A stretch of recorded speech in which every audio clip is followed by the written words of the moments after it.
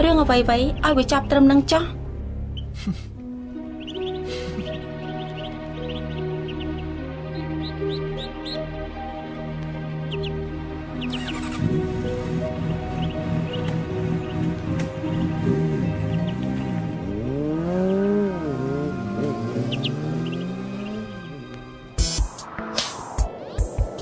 កំពុងតែគិតពីអីហ្នឹង